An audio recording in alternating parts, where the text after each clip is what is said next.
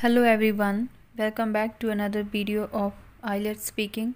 The topic is dream. The first question is Do you often have dreams at night?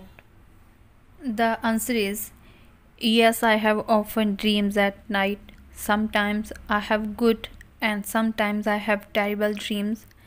I don't believe in these dreams, but it is also true that I feel happy to see sweet dreams. The second one Have you had a bad dream before? The answer is yes. Many times I have bad dreams. Few days ago, I have a very disturbing nightmare. I reach in the forest where I saw ghost and they tried to kill me I think it happened with me after seeing her movie on TV. The third one, do you think dream will affect life? Definitely not.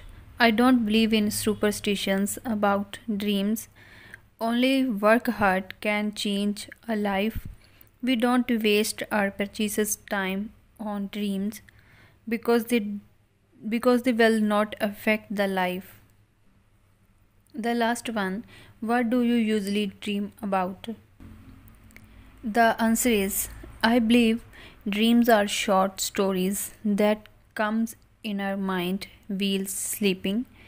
I have dreams about worries, happiness and other things.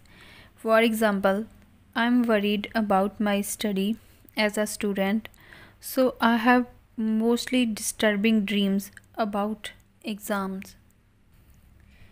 So finally, if you watch my new videos, please like, share and subscribe my channel.